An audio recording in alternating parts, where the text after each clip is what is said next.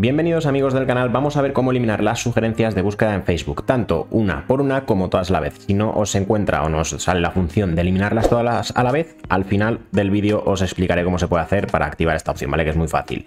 Nosotros si por ejemplo nos vamos al apartado de búsquedas, que lo tenemos que tener aquí, y luego la lupa, si os fijáis aquí en recientes me salen las últimas búsquedas que yo he realizado, ¿vale? Entonces, si yo lo que quiero por un lado es eliminar cualquiera de estas de forma individual, simplemente le daré a estos tres puntitos de aquí, que esto seguro que lo sabéis, y le dais eliminar muy fácil. Pero si lo que yo quiero en cambio es eliminar las dos a la vez, le daríamos a ver todo y aquí le daríamos ya a borrar todo. Podríamos filtrar tanto las búsquedas como las visitas, no habría ningún tipo de problema. Fijaros que yo le doy a borrar todo, le doy a borrar todo y se me elimina a la vez. ¿Qué pasa si esta función no sale? Pues es muy fácil, simplemente tendréis que saliros a la Play Store, os iréis a la parte de Facebook y actualizaréis la aplicación de Facebook, ¿vale? Simplemente pues escribiríais aquí eso, Facebook, le daríais y esto en lugar de saliros aquí a abrir, os saldría la opción de actualizar, porque esta es una función relativamente nueva y simplemente tendréis que hacer eso para que os salga. De todas formas, si tienes alguna pregunta, no te sale o tienes algún problema, me lo dejas en comentarios. Si quieres un vídeo más de cualquier cosa, escríbemelo también en comentarios, suscríbete por favor y deja un like.